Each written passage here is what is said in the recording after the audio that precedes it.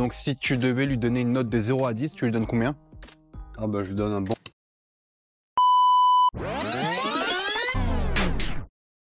Salut à tous et bienvenue sur la chaîne Meilleur Vélo Électrique. Aujourd'hui, on se retrouve pour une nouvelle vidéo pour vous présenter un vélo de ville électrique que le magasin Noroto de Paul Escar nous a prêté généreusement.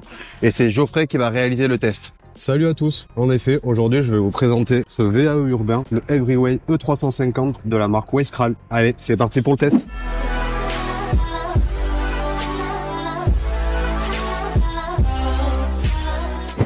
Mais avant de voir le test, pense à t'abonner à la chaîne Meilleur Vélo Électrique, active la petite cloche pour regarder toutes nos dernières vidéos, lâche-nous un pouce bleu et surtout dis-nous en commentaire ce que tu penses de ce magnifique vélo de ville électrique Westral. Allez, c'est parti pour le test. Allez, il est l'heure de flâner en ville avec le Westral Everyway E350. C'est parti. Si ce vélo de ville électrique Westral t'intéresse, retrouve le lien dans la description. Bon, ce que j'aime bien faire au début, en général, c'est commencer sans assistance, pour voir notamment par rapport au poids comment se comporte le vélo. Donc là, on est sur un vélo de ville avec un cadre ouvert, donc ce qui facilite l'enjambement.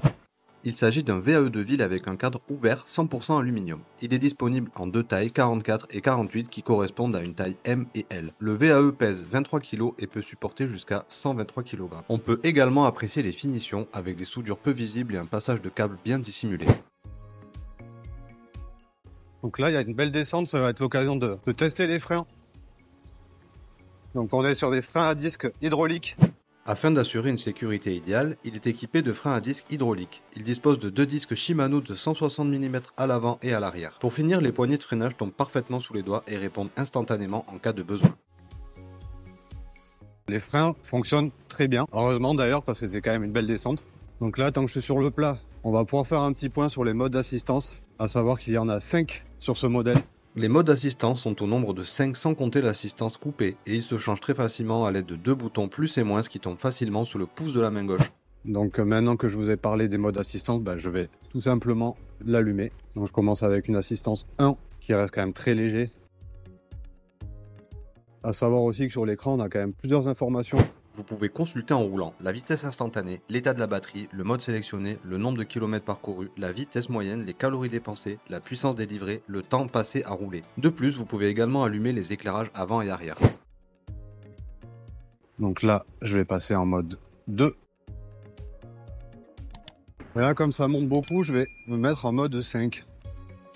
Donc là, je suis en mode 5, vitesse 4. Donc là, je force pas beaucoup. C'est plutôt agréable. On sent que le moteur, il a quand même un bon couple. On va également faire un point de suite sur le moteur. C'est un moteur central Bafang M200 qui délivre une puissance de 250 watts et un couple de 65 Nm. De plus, il fonctionne à l'aide d'un capteur de couple. Ouais, donc l'assistance elle est quand même euh, qualitative. Là, on est sur un moteur Bafang et franchement, il répond plutôt bien. Il est assez fluide. Là, je vais profiter de la petite descente pour vous faire un point sur la batterie, à savoir qu'il y a à peu près 90 km d'autonomie, estimée bien sûr. Il s'agit d'une batterie Samsung amovible et verrouillable à clé. Elle dispose d'une capacité de 500 Wh et confère une autonomie estimée à 90 km maximum. Vous pouvez la recharger directement en place sur le vélo et consulter son état avec un voyant LED. Ouais, donc là, ça monte quand même très fort.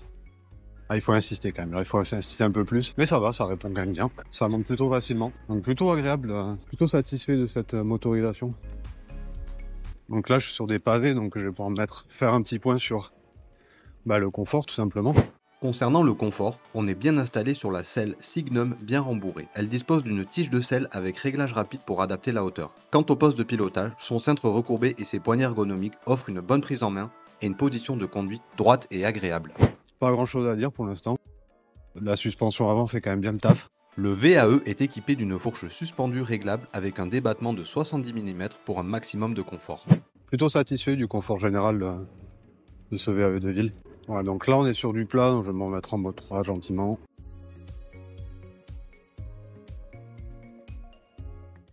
Donc sur ce vélo, il y a un point qui est super sympa, c'est le système de transmission. Il s'agit d'un groupe Shimano Nexus à 7 rapports avec un monoplateau et une protection anti-déraillement. Elle est également intégrée dans le moyeu arrière et offre un passage de vitesse ultra fluide. La poignée Shimano Nexus répond instantanément et permet de visualiser les vitesses. Donc là, on a une transmission directement intégrée dans le moyeu. Donc en fait, le passage de vitesse, il est super fluide.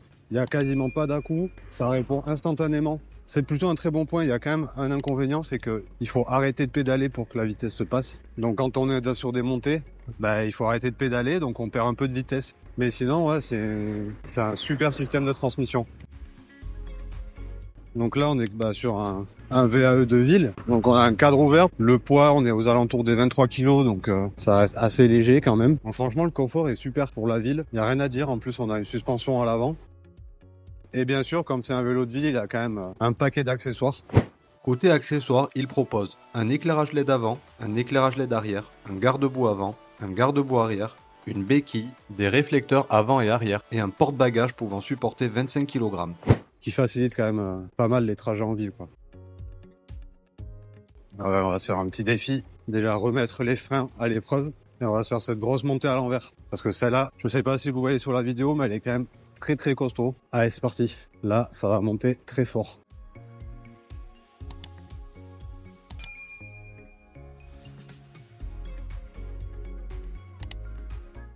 Bon, il faut utiliser les jambes quand même, mais ça reste très faisable. Ah, donc là, pour terminer, on va parler des, de l'adhérence des pneumatiques. Pour les trains roulants, il est équipé de jantes en aluminium double paroi pour un maximum de robustesse. De plus, il repose sur deux pneus CST de 28 pouces avec bande de roulement anti-crevaison et bande réfléchissante. C'est un super vélo de ville. Très satisfait de, de cette petite sortie. Et voilà, le test du VAE Westral Everyway E350 est terminé. Bon alors Geoffrey, tu rentres de ce test de ce vélo électrique urbain, le Westral Everyway E350. Qu'est-ce que tu peux me dire notamment sur tout ce qui est motorisation et assistance électrique? Pour ce qui est de la motorisation, franchement très satisfait. On est sur un moteur central Bafang, 65 Nm. En termes de couple, ça reste correct sur du plat. Par contre, sur les grosses montées, des fois, on est quand même assez limité. Il faut quand même forcer sur, le, sur les pédales. Et après, pour ce qui est des modes d'assistance, il y en a 5. Ils sont assez réactifs, c'est assez fluide. Plutôt satisfait de motorisation et assistance. Ouais. Ok. Bon alors Geoffrey, après qu'on ait parlé de la motorisation, des différents modes d'assistance, qu'est-ce que tu peux me dire sur le confort de conduite, notamment avec son cintre recourbé, sa selle Qu'est-ce que tu peux me dire en général?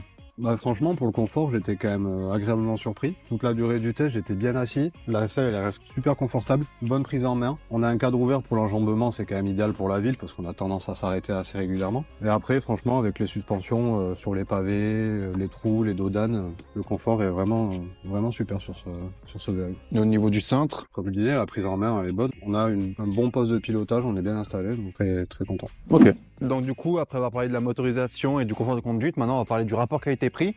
Donc là, on est sur un modèle à 1799 euros qui est disponible sur Noroto. Ouais. Est-ce que tu penses que le rapport qualité-prix est au rendez-vous? Moi, franchement, je trouve que le rapport qualité-prix sur ce modèle est quand même très correct. On est quand même à 1800 euros, mais ça reste euh, cohérent par rapport euh, au vélo qu'on a entre les mains. Par rapport au Everyway E300 qu'on a testé, là, on a quand même une autonomie un peu supérieure. On a un moteur un peu plus faible, mais par contre, on a une plus grosse autonomie. On a aussi un, un design un peu plus intéressant, un peu plus dans l'air du temps. Après, il y a quand même un bon nombre d'accessoires. On voit les garde-boue avant-arrière, les éclairages. Donc, franchement, euh, moi, je trouve euh, Que le prix, bon rapport qualité-prix. Ouais. que le prix est justifié Ouais, vraiment justifié. ouais. Ok. Bon alors Geoffrey, j'ai l'impression qu'en termes de motorisation, d'assistance électrique, de confort et de rapport qualité-prix, tu es plutôt satisfait de ce vélo électrique Westral? Ouais, quand même. Donc si tu devais lui donner une note de 0 à 10, tu lui donnes combien? Ah bah je lui donne un bon 8,5 sur 10 quand même. Dans l'ensemble, relativement satisfait ah, du moment que j'ai passé sur ce vélo. Il y a quand même quelques points négatifs, ouais, on va pas se mentir. Au niveau de la transmission, c'est une transmission qui est directement intégrée sur le moyen arrière. Donc en termes de passage de vitesse, il n'y a pas vraiment de souci, c'est assez fluide. Le seul problème, c'est quand on est en montée, on est obligé d'arrêter de pédaler pour que la vitesse passe. Et du coup, ben, on va perdre euh, la lancée. Donc ça, pour moi, c'est un petit peu euh, problématique. Et ensuite, ça va être au niveau du moteur. Fait quand même 65 Nm, mais sur les grosses montées, il faut quand même pédaler assez fort. Donc voilà, je dirais que ça manque un tout petit peu de puissance, notamment par rapport au prix du vélo. Après, dans l'ensemble, euh, très satisfait quand même. En tout cas, merci Geoffrey pour ce test. Bah avec plaisir. Voilà, le test de ce Westral Everywhere E350 est terminé. Nous tenions à remercier le magasin de Noroto Polescar de nous avoir prêté ce vélo de ville électrique pour vous faire la présentation. Pour finir, si tu as aimé cette vidéo, pense à la liker, abonne-toi à la chaîne Meilleur Vélo Électrique, active la petite cloche pour voir nos dernières vidéos et dis-nous en commentaire ce que tu penses de ce vélo électrique Westral. Allez, on se retrouve pour une prochaine vidéo. Ciao tout le monde Ciao Pour conclure, si tu es intéressé par l'achat du Westral Everyway E350, retrouve le lien dans la description. Allez, c'est parti. 1, 2, 3. Et terminé. Je m'attendais pas, désolé. Bon, mais je vous fais la voix. Ah là là là là là. Je me retrousse les manches. Partir à la guerre. Et surtout, hmm, j'ai perdu le fil. Je me suis dit, j'ai fait une connerie, pourquoi il me regarde comme ça? Bah non, je te regarde. Ok.